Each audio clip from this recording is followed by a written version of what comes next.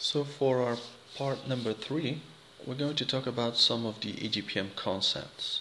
Concepts that are important to understand how the archive works, how you decide which group policies you want to put in the archive as being managed or controlled by AGPM, um, how the templates uh, work, how the recycler bin behaves. And so let's have a look at that. So once we're back at our AGPM, we're still logged on as Kurt.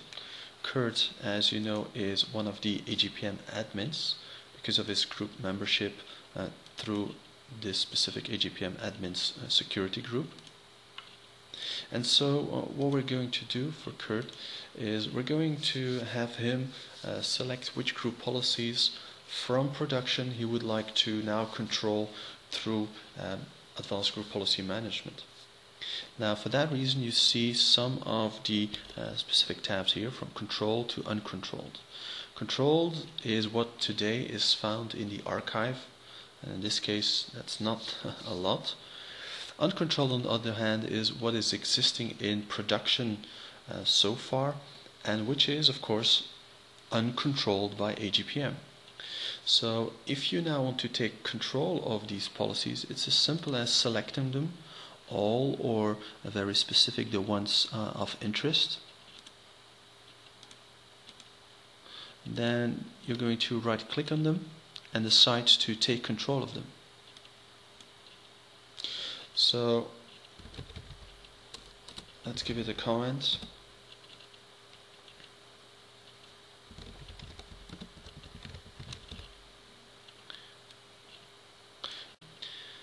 And so now he's now really copying those into the uh, archive. Uh, I'm hoping you remember the archive. We located that in the program data folder, program data folder, Microsoft, and then you actually find AGPM.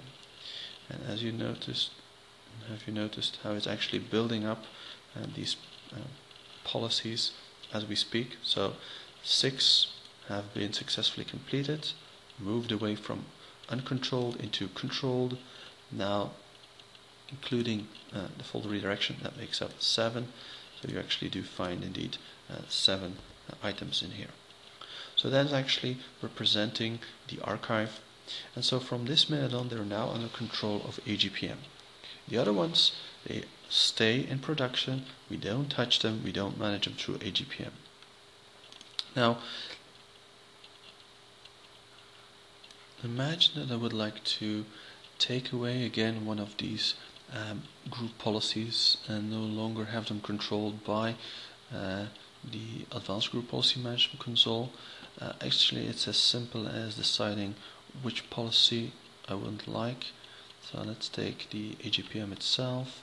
Let's delete this one from the archive or from production or both actually. So in this case, we would remove it only from the archive, not from production. And let's actually go ahead with that. Uncontrol, or let's call that back to the uncontrolled state. So it's now moved away from um, the archive, but this actually makes me point out something else. So he's back over here, but also notice that in my recycler bin, since I've actually deleted it from the archive, I can now even find it in there. So what does this actually allow me? This allows me to bring this version of the group policy that I've actually deleted from the archive. It allows me to restore it or to really destroy it and make it disappear in, in completely. So the recycler bin, quite straightforward. Uh, in this case, it's the version uh, that I've actually built uh, just a second or um, deleted uh, just a second ago. If you're wondering about what are the settings that live inside, you can at all times have a look at the settings HTML report, which will build up uh, exactly what lives in this group policy object. Again, it is looking at the archive, but in the recycler bin of the archive, you could say. So this would give me my HTML report, I'm going to allow this uh, content to be visible. And there you go. Indeed some of the settings that I've talked about. Okay so another thing that's been added in this version 3 re relating to the recycler bin is that from the minute I delete a specific policy it's going to still keep it in the recycler bin. Uh, for what time? Well this is actually what you can choose. Now it's not defined in a time uh, matter it's actually defined in the uh, number of versions so I could decide to only keep the uh, last 25 versions of that specific of uh, a group policy object so that it can go back uh, 25 versions of each policy that has been controlled by AGPM. So that is actually under here. What else do we see?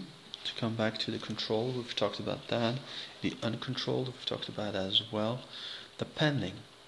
The pending actually uh, tab will have some objects inside it once we request for the creation of a group policy well we are not privileged to create a group policy and so at that time it will go into a pending state because uh, someone else has to approve the creation of the group policy. And so this pending tab is the place where you would go as an administrator to approve maybe the creation, maybe the editing, or maybe the deployment of a group policy. So it's typically the place where you're going to go to uh, right click and approve a specific operation on a group policy object.